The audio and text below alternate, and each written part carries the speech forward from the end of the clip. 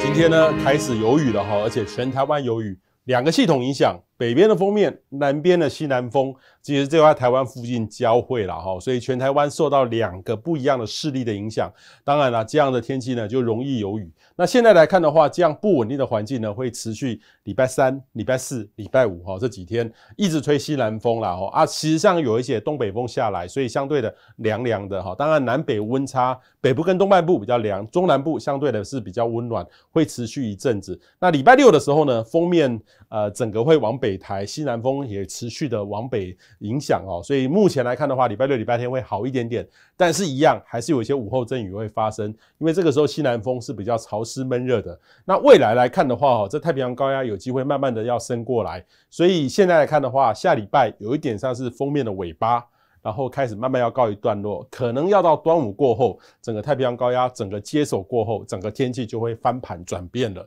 所以请大家注意这样的一个变化哈。大致上，台湾呢各地在这两三天都是容易有雨的，变化很大的天气，请大家要有心理准备，出门呢一定要带上雨具啦哈。不过这次来看的话，雨势呢大概就是属于这种大雨等级的水准哈，就参考用哦。但是到了礼拜五、礼拜六，尤其是礼拜六会缓和很多，所以这两三天呢，请大家多注意外出都很容易下雨，但是也不是整天都下雨哈，就是阴时多云，偶有局部较大雨势，大概就是到大雨等级，还不到豪雨等。级的水准，那这几天呢，北部跟东半部一样都凉凉的，二十二到二十六七度哦，二十五六度。然后礼拜六、礼拜天到下礼拜一，就整个就一下子北部就回到三十度左右的温度了，有一点闷热的感觉。中部呢也是如此哈，大概到了礼拜天、礼拜一就回到三十一度了。这几天是有一点降温一点点，有下雨哈。那南部来说的话，也是有点降温，但是到了周末也会显著的回温，所以请大家稍微留意一下。等于周末呢，转换成这种午后热对流为主的。天气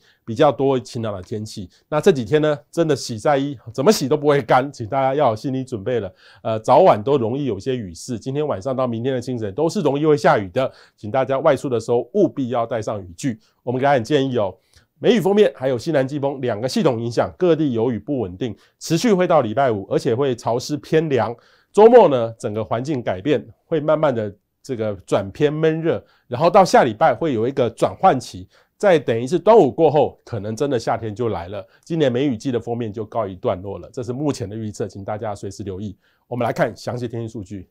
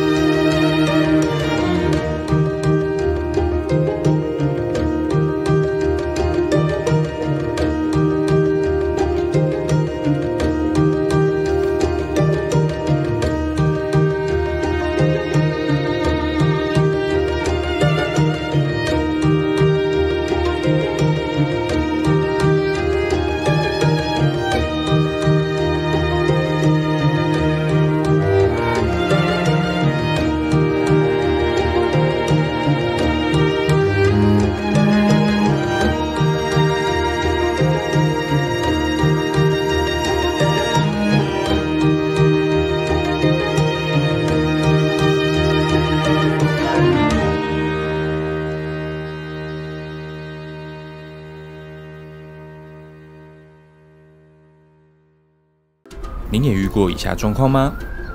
出大太阳的好天气，准备看场期待已久的演唱会，